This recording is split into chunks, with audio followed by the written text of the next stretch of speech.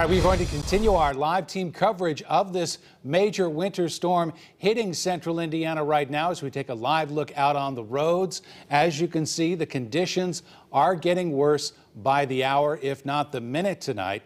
This is a look at our INDOT camera just south of Plainfield. This is on I-70. We have had reports of some backups on I-70 today. CBS 4's Jesse Wells joins us live in Hendricks County right now. Jesse, what's the latest from where you are? Well, frankly, I don't think it matters really where in central Indiana you're standing. The fact is, right now, snowfall is heavy and consistent. The roads are completely covered. The roads are passable, but it is definitely slow going. Right now, where we're at is on Crawfordsville Road between Clermont and Brownsburg. The fact of the matter is, state and county workers simply cannot keep up with all the snowfall. Hendricks County, like a lot of counties south of here, are in a travel watch. That means conditions are dangerous. You should only travel for essential reasons.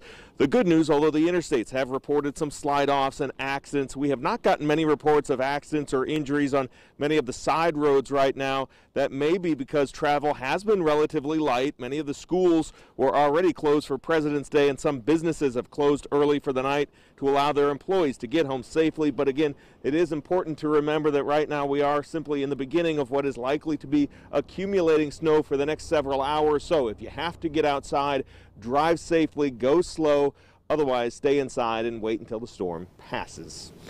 For now, reporting live in Hendricks County, Jesse Wells, CBS 4 News.